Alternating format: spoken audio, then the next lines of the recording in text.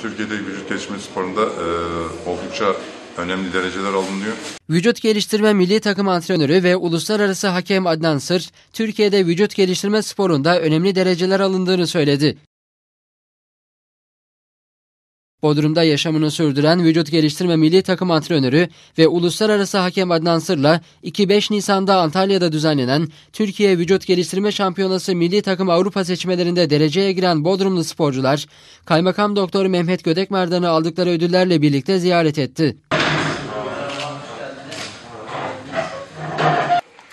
Sizlerin bu başarılarından dolayı böyle bir e, plaket Ziyarette sporcuların Antalya'da gösterdiği başarıları kutlayan Gödekmer'den, Türk sporu adına önemli bir başarı, Bodrum adına önemli bir başarı. Sporcuları ve antrenörleri tebrik ediyorum. İnşallah bundan sonraki yarışmalarda da güzel başarılar kazanırsınız dedi. bu başarıları da kutluyorum, tebrik ediyorum.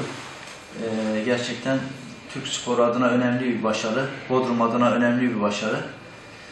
Sporcularımızı kutluyorum, tebrik ediyorum. Vücut geliştirme milli takım antrenörü ve uluslararası hakem Adnan Sır da Türkiye'de vücut geliştirme sporunda önemli dereceler alındığını belirtti. Federasyonun ve bakanlığının dopinge sıfır tolerans adı altında çalışma başlattığını ifade eden Sır şunları söyledi. Sağlıklı nesiller yetiştirmek için e, başlattığı bu e, çalışmalarda federasyonumuz çok ciddi adımlar atmakta ve e, bütün yarışlarda doping kontrolünü mecbur tutmakta. Bundan dolayı yeni sporcu arkadaşlarımız ve kardeşlerimiz kendi natürel çalışmalarıyla oldukça şaibe bırakmadan aldığı Türkiye şampiyonalarındaki derecelerle milli takımı oluşturmaktayız.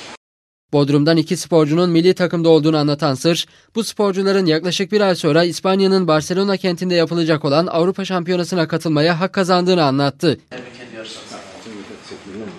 Tamam, tebrik ediyoruz. Ziyarete katılan Bodrum Gençlik Hizmetleri ve Spor Müdürü ve karateci Fatih Uzunulu ise sporcuların profesyonel spor yaşamlarıyla üstün başarılara imza attıklarını söyledi.